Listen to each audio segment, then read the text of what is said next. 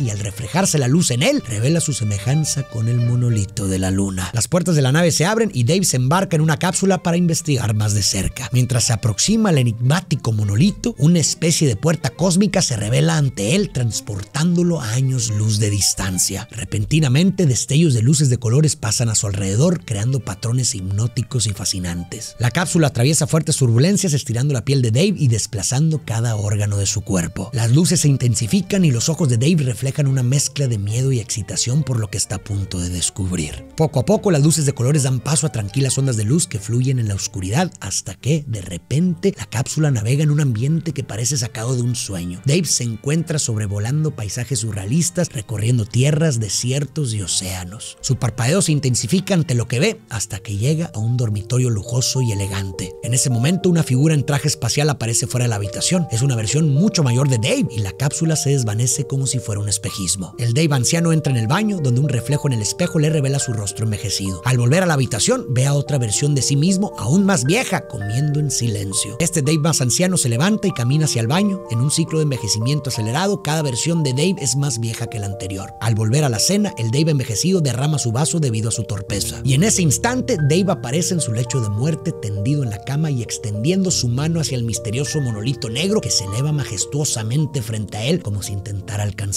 entonces, en un momento de profunda transformación mística, la figura envejecida de Dave es sustituida por la de un bebé rodeado de un halo luminoso. Finalmente, el bebé estelar flota en el espacio frente a la Tierra mientras la melodía triunfal de Strauss llena el ambiente. Pero, ¿qué rayos pasó? Inicialmente Kubrick había evitado responder esta pregunta. Kubrick no buscaba tanto dar respuestas concretas de lo que pasó, sino inspirar preguntas, reflexiones e interpretaciones personales. Si la película lograba agitar las emociones, penetrar el inconsciente del espectador y estar estimular, aunque sea de manera incipiente, sus anhelos e impulsos mitológicos y religiosos, entonces, según Kubrick, había alcanzado su objetivo. Sin embargo, en una entrevista inédita de 1980 finalmente ofreció una explicación. En línea con el libro, Dave fue transportado a una dimensión diferente de tiempo y espacio donde se encontró con los seres extraterrestres de energía pura. La habitación en la que aparece actúa como una especie de zoológico humano, un lugar diseñado para que sea observado y estudiado por estos seres avanzados. Aquí Dave ve su vida pasar y al final, como sucede en tantos mitos de todas las culturas, culturas del mundo, lo transforman en una especie de super ser y lo envían de regreso a la Tierra. En este contexto, la escena de Dave extendiendo su mano hacia el monolito remite a la icónica pintura de Miguel Ángel, la creación de Adán, donde Adán extiende su mano hacia la de Dios, quien le da vida. De manera similar, el monolito actúa como catalizador, dando origen al primer superhumano. Resulta interesante notar cómo los nacimientos y los cumpleaños parecen ser motivos recurrentes en la película. Comienza con el nacimiento de la humanidad marcado por el descubrimiento de la herramienta por parte de los simios humanoides, luego se muestra los cumpleaños de Floyd y Frank, que sirven como hitos en la narrativa. Sin embargo, es el nacimiento de Dave como bebé estelar lo que representa el clímax simbólico, señalando un renacimiento no solo para él, sino para toda la humanidad. Y a partir de esta idea clave, desarrollo mi interpretación de la película. Como vimos, la película utiliza de manera magistral la composición de Richard Strauss, así habló Zaratustra, en momentos clave que simbolizan el progreso humano, como el descubrimiento de herramientas y la aparición del bebé estrella en el espacio. Esta elección musical no me parece casualidad, sino que sirve como nexo con las reflexiones filosóficas de Nietzsche, cuya obra maestra, Así habló Zaratustra, inspiró la composición de Strauss. Nietzsche escribió Así habló Zaratustra en respuesta a una crisis de pensamiento en Europa marcada por el ascenso de la ciencia y el declive de la religión. Los avances científicos y tecnológicos estaban demostrando la posibilidad de explicar el mundo sin la necesidad de un dios, lo que llevó a un cambio fundamental en la moralidad, el valor, el sentido y el orden europeos. Nietzsche proclamó la muerte de Dios y anticipó que el reemplazo de la fe por la ciencia podría asumir a muchos en la desesperación, el pesimismo o el nihilismo. Ante esta encrucijada cultural, Nietzsche ideó la figura del superhombre en su obra, buscando restablecer el sentido y la dignidad de la existencia humana en un mundo posreligioso. Propuso que mientras algunos caerían en el nihilismo, el rompimiento con los valores tradicionales también ofrecía una oportunidad única para la creación de un nuevo sistema de significado. A través del personaje Zaratustra, un ermitaño sabio y conocedor que emerge de su reclusión en la montaña para compartir su conocimiento con la humanidad, Nietzsche instó a los individuos modernos al progreso hacia el superhombre, creando sentido y valores propios independientes de creencias y estructuras externas. Estos conceptos de Nietzsche pueden servir para elaborar una interpretación de la película la cual retrata un mundo donde la ciencia y la tecnología han alcanzado un papel dominante en la vida humana. En este escenario, este avance tecnológico, aunque impresionante, parece haberse logrado a expensas de aspectos esenciales de la humanidad. Mientras que la película destaca los avances tecnológicos futuristas, la profundidad y el desarrollo de los personajes se relegan a un segundo plano. Es notable que en las dos horas y media de película solo se incluyan 40 minutos de diálogo, lo que refuerza esta idea. Los personajes principales, Floyd, Dave y Frank, se presentan con una carencia emocional significativa, casi como si fueran robotizados, en marcado contraste con Hal, que paradójicamente exhibe una gama más amplia de emociones humanas. Por ejemplo, la interacción de Floyd con su hija en su cumpleaños es mecánica y carente de calidez. De hecho, ni siquiera le hablaba para felicitarla, le hablaba a su esposa, mientras que Frank muestra una indiferencia similar durante la llamada de cumpleaños de sus padres. Estos detalles parecen apuntar a una crítica de la deshumanización a manos de la tecnología, donde ésta prevalece sobre la emoción y la conexión humana. La película muestra cómo la tecnología puede ser esencial en el progreso humano, pero también cómo puede llegar a predominar sobre nuestras relaciones interpersonales y nuestro crecimiento y desarrollo. En este marco, el acto de desconectar a HAL, una computadora que representa el apogeo de la tecnología avanzada justo antes de que Dave inicie su viaje cósmico, resulta profundamente simbólico. Esta acción puede interpretarse como un rompimiento con los valores y dependencias establecidos para iniciar un nuevo camino hacia un ideal superior. Es como si Hal fuera el obstáculo para poder llegar a la iluminación. La película parece sugerir que para progresar hacia la siguiente fase en la evolución de la humanidad quizás sea necesario liberarnos de cierto tipo de esclavitud